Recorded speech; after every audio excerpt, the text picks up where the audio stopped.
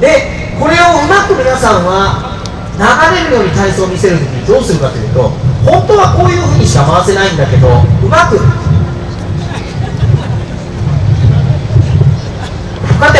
反動を使うとね割と大きく回ってるように見えるんですよ。でも軌道は体の横を通らないので肩の関節はやっぱり柔軟に保っていく必要がありますからなるべく体の真横を通る。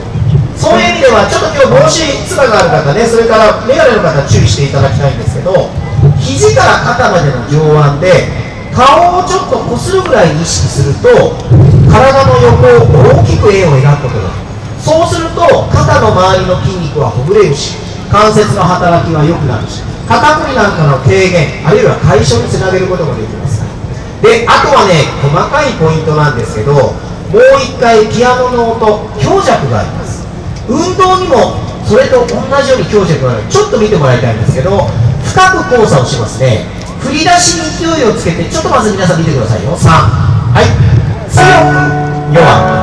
強く弱く振り出しに勢いをつけて上までずっと上がったらあと力抜くだけなんですね。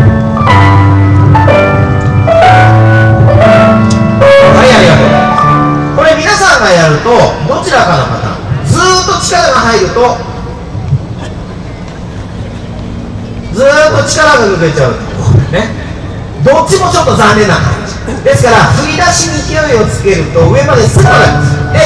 上まで行ったところで止めてくださいこの後は腕の重さで力抜いたらストンと落ちていくまた振り出し勢いをつけて。そう。そうするとピアノの音と合わせて強く。弱く。強く。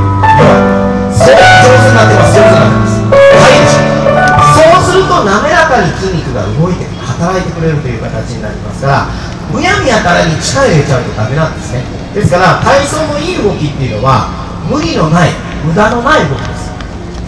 無理して無駄しちゃうと。これかえって疲れる体操するとなんか調子悪いなっていうふうになっちゃいますからあまり力を入れすぎないようにというところですね。はいじゃあもう一個横曲げじゃなくて4番胸を反らせる運動ですけどこれ運動の名称胸を反らせるんですよ。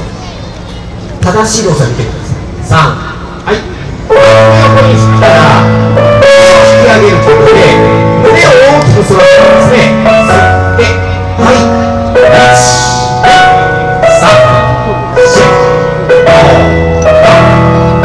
はい。でしょ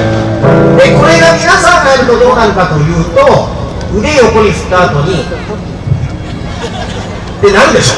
大体空見上げてこう自分では反ったつもりになってますけど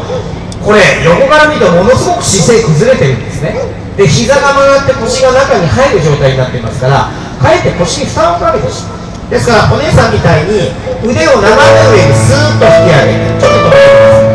この時一番胸郭がぐっと広がるところへ持ってってくれるんです。でポイントとしてはねこの手のひらをねちょっと体の方に向けていただけると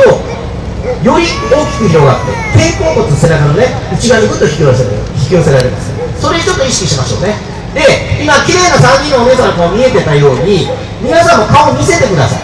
空向いちゃうと鼻の穴しか見たくなっちゃいますから顔をちゃんとこちら向けてくださいよ。はいじゃあピアノの音に合わせて3